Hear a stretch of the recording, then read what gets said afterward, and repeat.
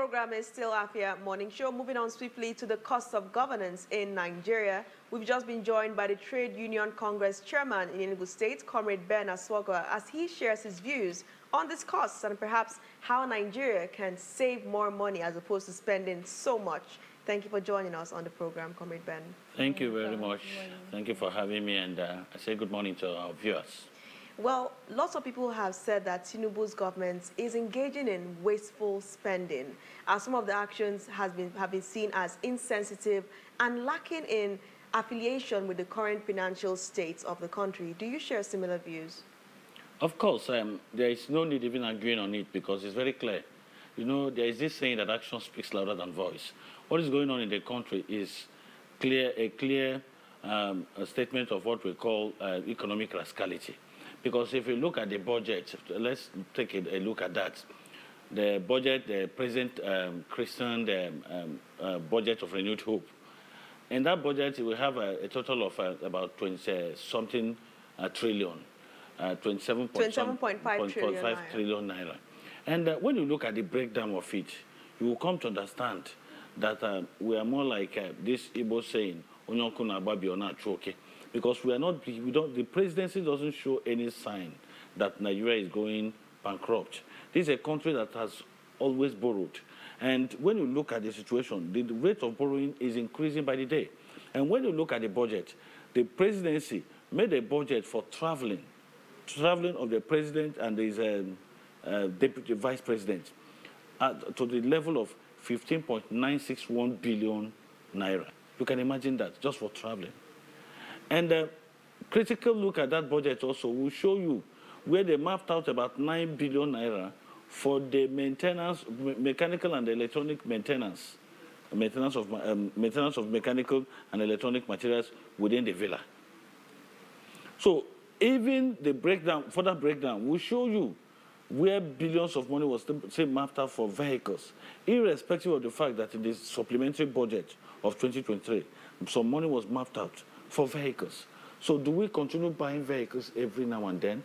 How, how, many? So just imagine that just a few weeks ago or thereabouts, they passed supplementary budget where huge amount of money in billions was mapped out for vehicles. And in the 2024 budget, you are mapping out billions of money again for vehicles.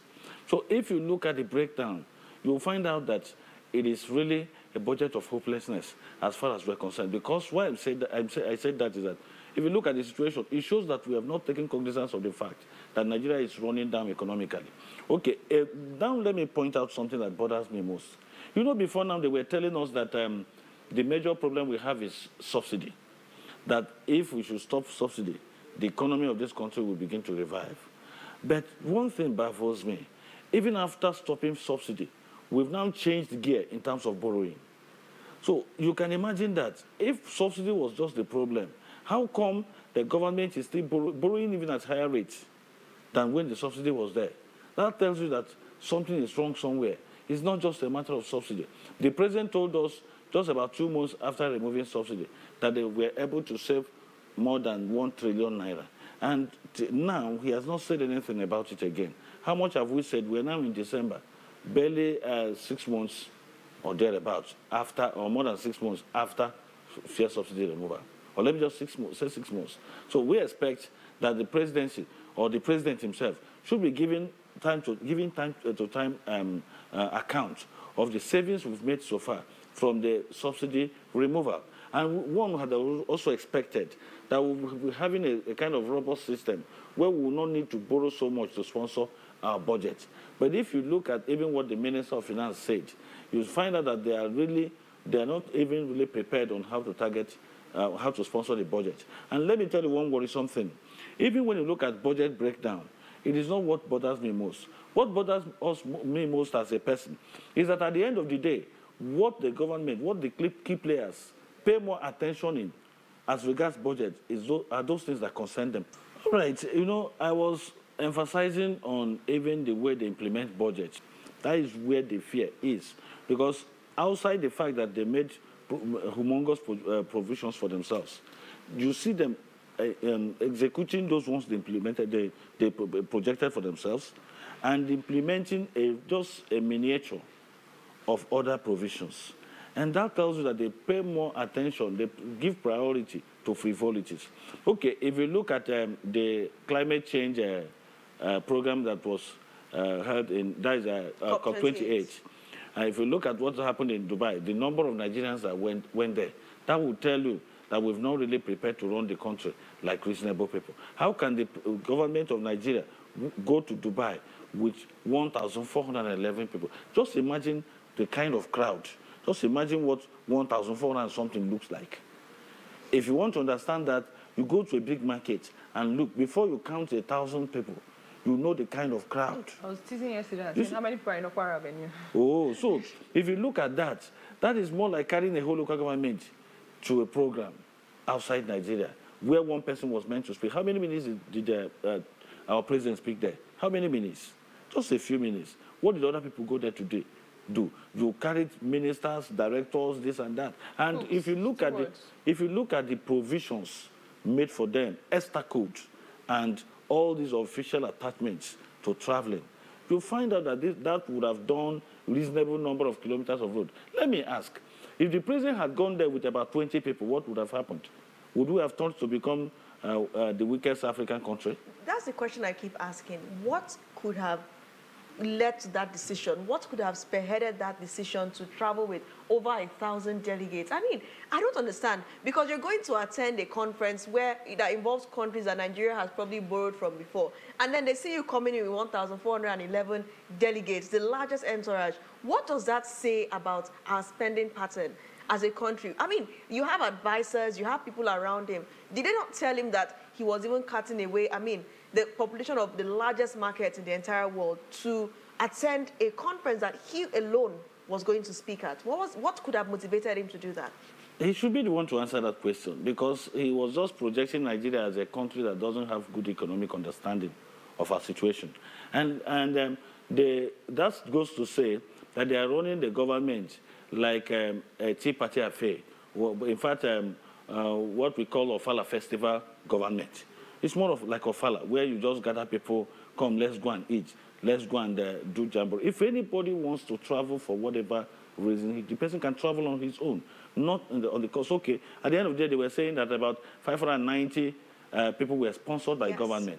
That is just to say... For 13 days. Uh, for 13 days, you can imagine that. 13 days. So that means that you count the money per head in millions good millions for that matter. And if they, if they are telling us that 590 were sponsored by government, it means that these other people were sponsored about 900 plus, were now sponsored by government indirectly. Because when they say not sponsored by government, it could be one organization or the other that still depend on one thing or the other that would have helped the economy. So you begin to ask yourself, what actually was the value because if you are doing anything, if you don't run government like somebody that is running a, a business, you can't succeed. Nigeria, we have got to a point where anybody that must lead us well must run Nigeria like a private business. Because if Tinubu is running Nigeria like a private business, he wouldn't have ventured into that.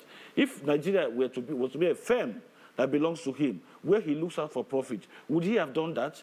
Is it just because you see money flying around and you think there is money, even when people are suffering?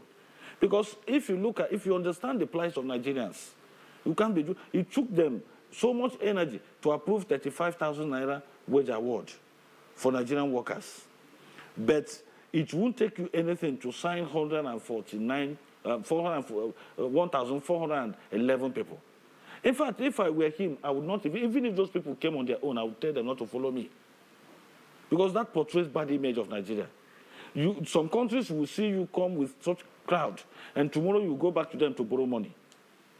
For goodness sake, if you come to me to borrow money, and every time I see you in the bar, eating pepper soup and drinking, uh, eating nkwobi and all, all, that, that shows you are not, if you come back tomorrow, if I'm serious, I will tell you I can't lend money to you again. Because that shows, shows you are too extravagant. We need a reasonable miser in Nigeria. We need a reasonable miser. Miser in the sense that the person will think well before spending. Not a negative miser, by the way. But we need somebody that is economically constructive, that can compare the left, left and right gains and losses before doing anything. Not a situation where you just come up and feel, uh, yes, you are part of us, so let's go. It's not that way. Nigeria is not a, a just a. I know that no. I, I had wanted to say that Nigeria is not a private organization, but if it were a private organization, nobody would have done it that way. So I see it as the worst display of economic irresponsibility by the government of this country. And by, by next year, we'll be talking about minimum wage. Come and see what they will do. Then they will tell us that there is no money. But when it comes to frivolities, you spend all, all, all forms of money. If it comes to other things, okay, look at the money. They, they are saying yeah, they are prioritizing security. They are prioritizing education. They are prioritizing um, infrastructure. At the end of the day, look at it and see. Even huge amounts of money, billions, was provided for infrastructure within the uh, security forces, like police and co. At the end of 2024, go to barracks, go to police uh, uh, stations, you will still see dilapidated structures. The question I have now is, after carrying over 1,000 people for this conference, now the conference is over, the president is back, what happens to the money? The oh. money is, is gone. That's, that's literally eating, eating the money. That's, gone without any value. It's, it's gone. It's gone. No value. We don't even, I mean, then you can imagine the amount of allowances provided for each and every one of those delegates. So you now ask yourself, now that it's over, what next? Even when we talk about what allowances, next? we talk about productivity.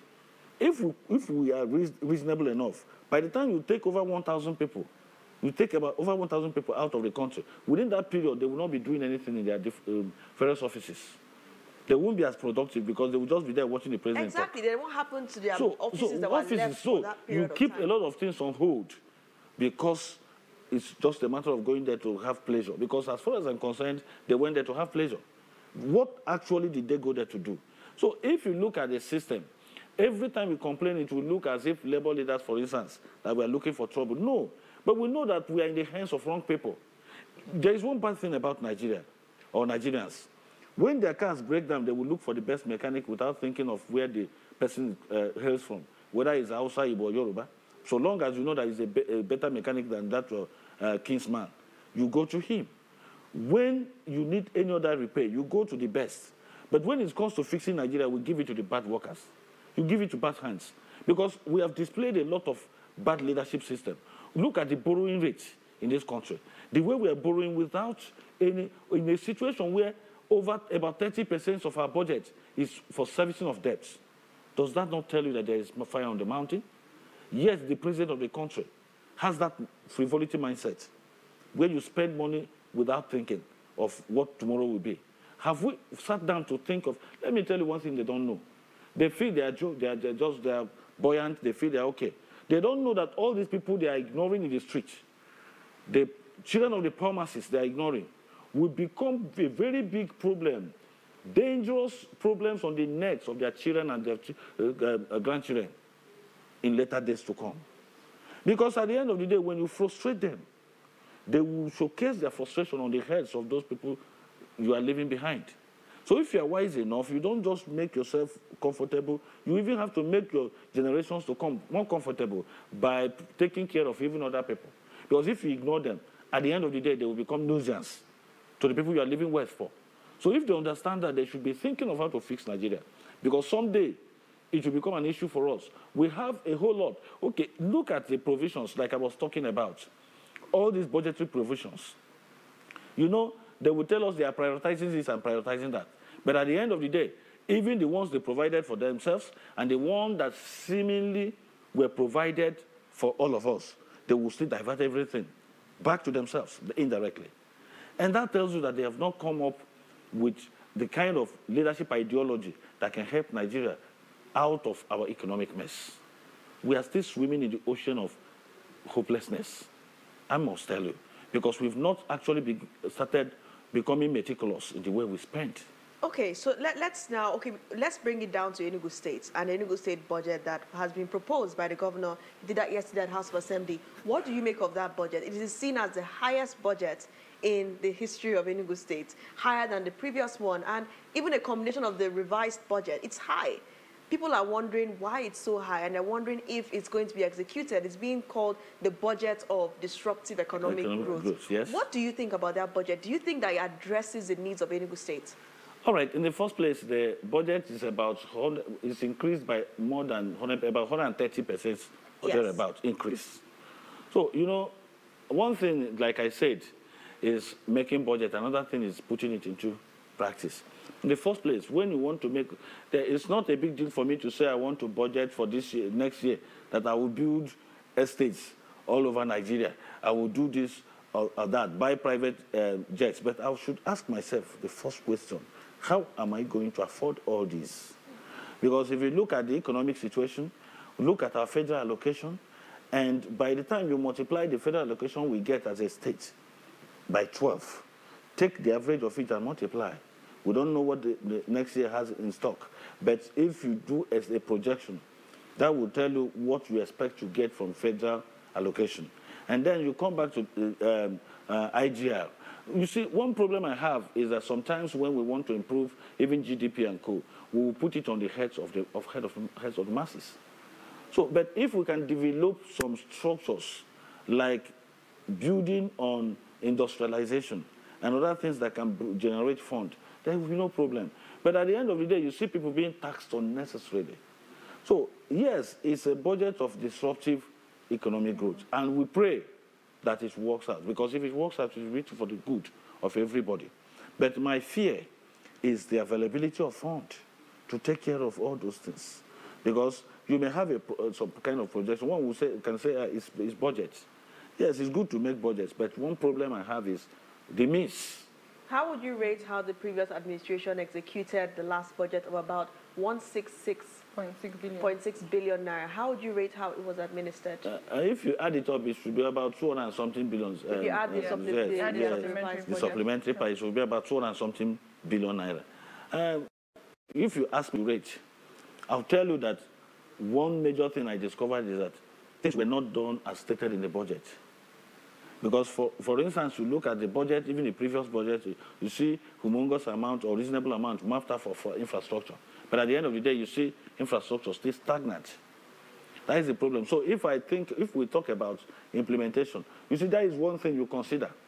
If been making budgets that you are not able to provide up to 50% of it, why increase rapidly? What you should concentrate more on is your capacity to run your economic affairs as budgeted. For instance, if you're able to execute 70, 80% of your budget every year, Nigeria will be excellent. I'm telling you, if we can execute 70% of our budget, every state and the federal, federal government of Nigeria, just exactly the way it was provided for in the budget, we'll, we'll be good to go. So it's not even a matter of increasing. You don't, as far as, far as I'm concerned as an individual, because I don't want to say that everybody must think my, my way, but as far as I'm concerned, what matters is what you can do, not what you even provided for in the budget. It's good to provide because that provides solution to certain things that this is where we are going. But the direction you take, for, for instance, we are talking about the past government. If you look at a lot of things, there, was, there are some certain things that were provided for. For instance, this water we are talking about, the previous government spent reasonable money on water. I know of an organization, let, maybe I'm not, I may not have to mention the name, but they collected about 600 million to fix Ninth uh, water. The same Ninth Mile water we're talking about. What did they do with it? What did they do with it? Did we get water at the end of the day? So if we talk about budgetary provision, it's a good thing. But one other thing we must critically look at is your capacity to actualize the dream of the people when you're making a budget. Because if you say you're making a budget for me to buy clothes, and you say you're making, making a budget of one million naira, I will believe that I'm not going to wear that clothes. I will believe that I won't go naked. But if at the end of the day I can't see clothes to wear, that means the budget doesn't make any meaning to me. So for the budget to make meaning to Nigerians, we must see it in, prac- in, in practicality, in reality. Let them practicalize what they budget for, and not just those things that concern them. You know, there is what we call virement. At the end of the day, you even see virement. For instance, virement is a situation where maybe you didn't budget enough for a particular thing, but you budgeted excess for some other thing. You can use virement to move money from that particular one you budgeted excess for to the one you didn't budget enough for. So all those things were, prov- um, were provided in the uh, economic rules to ensure good um, um, and smooth running of uh, the uh, people government affairs. But the key players now capitalize on it to even do whatever they like. So when there's a spillover, when there's excess, No, money yes, and even when they want to implement whatever, they can only do virement to lift money to some other side. And you'll be there saying it was provided for uh, on, on the budget. But you may not know that that thing wasn't. ex- So when we provide for budgets, Nigerians have to know how to monitor budget. If you're in a sector, pick that particular amount budgeted for. Go and go to the breakdown of it because if one billion naira was budgeted for a particular thing, there must be a breakdown. It could be that they want you to, to use 55 million to buy television. They, and if they're saying they want to use 5 million, there should be a number. So when you want to monitor, you say these televisions were provided for. They, they said they were going to buy 20. How, much, how many did they buy? If they, if they bought 10, but at the end of the day, you found out that the money provided for television has been exhausted, you ask questions. Because if they budgeted for 20 and only released money for 10, you cannot probe them. Maybe the money wasn't available. But in a situation where the money for 20 was released, but you can only see 10, then something is wrong somewhere. We also have to be. But one, one thing I've discovered about Nigerians is that even if you make, uh, like now we have 27.5 trillion naira as budget in this country, if at the end of the day you release the whole money, but you use 12 trillion to touch lives that in such a way that people can see, they will just be clapping for you. They won't ask questions on the other excess where it went to. And that is why these politicians find it easy to divert money. Because what we are interested in is those few things we can see. Once we see one or two things that will make us believe that government is working, that is okay for us, we start jumping and praising. And at the end of the day, you find out that you've been shortchanged. So when we talk about budgetary provision by the previous government, it still, it still has question marks. And it's not stopping today. Even federal government, what level of execution did they have? You see a president that travels up and down. In fact, we were complaining about the previous uh, president, the way he was traveling. We've entered another level of it, where if it were in physics, well, they would say that we have entered higher energy threshold. We've entered high energy threshold in terms of the traveling. And that was why the government of this country provided 15.961 billion naira for the traveling of president and vice president. Can you imagine that? So you'll be tra- if you shade, if you divide the one for president, the one for president is about 7.6 something billion for president alone. That means if you divide it by 365 days, eh, it will be about 20 something million naira per day. You can imagine that So for the traveling. question now is, you know, we're running out of time and the problems just keep on increasing. A new energy threshold, like you said in physics. What is the way forward?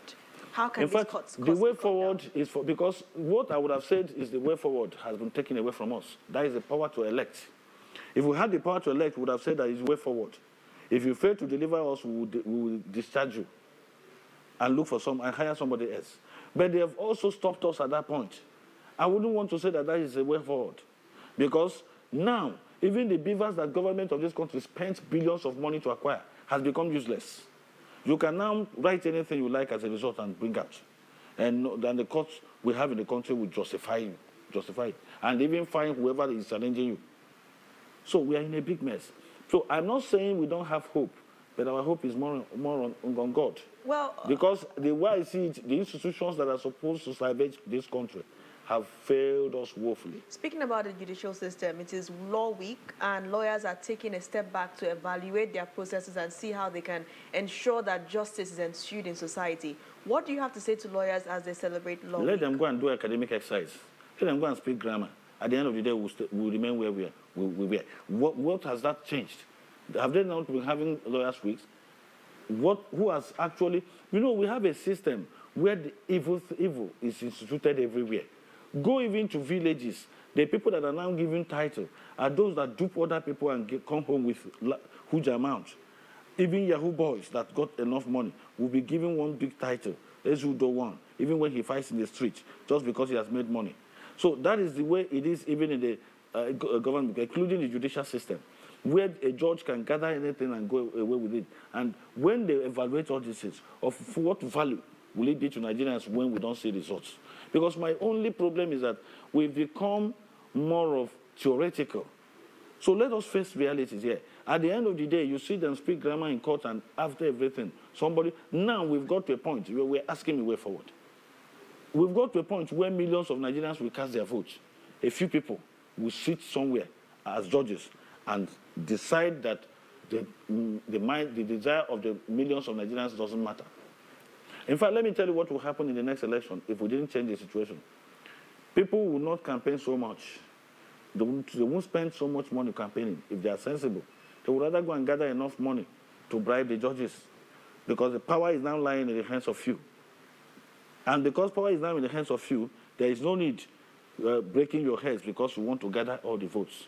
What you need is gather enough money to bribe INEC to give you victory and enough to buy over the judges to uh, justify it. And that is all you need. So when we now talk about um, Lawyers' Week, I wish them uh, fruitful um, celebration of their week, uh, but they must look backwards because they are setting Nigeria back to an era we never even experienced before. I'm telling you. Because we've got to an era where going to court is just a nightmare.